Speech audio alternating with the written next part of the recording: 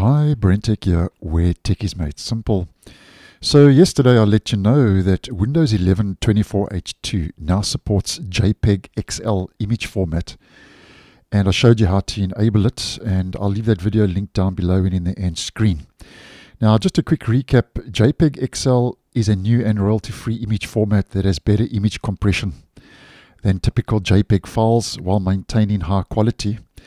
And just to let you know that I've recently noticed in Firefox Nightly, which is currently sitting on version 138, which is the latest preview version, that the JPEG XL is now being tested as a Firefox Labs feature in this early preview version of the browser.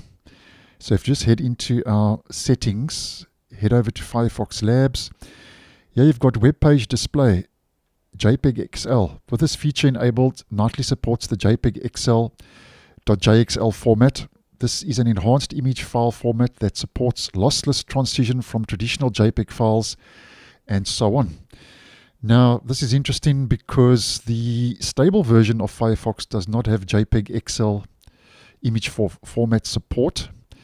And I thought I'd just kind of bring this to your attention if you are using Firefox because it seems now that this image format is becoming a lot more popular. It's now available in 24H2 and it seems that Firefox is also heading in that direction now.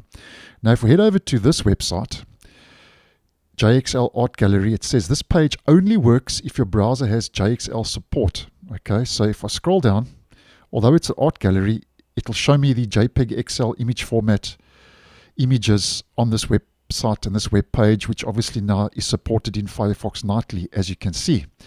Now, if I head over to the stable version of Mozilla Firefox, the same website, and I scroll, you can see no images. So the stable version of Firefox does not have JPEG XL image format.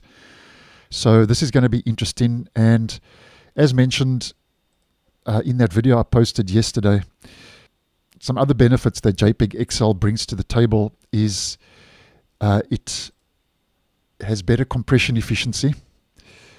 Um, it supports lossless and lossy compression. It supports transparency. It has support for HDR and a wide range of colors.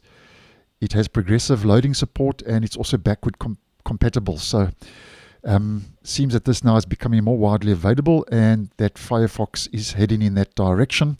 And obviously, if and when that does roll out to the stable, I don't see why it wouldn't, but if and when it does, I'll try and let you guys know. So thanks for watching and I'll see you in the next one.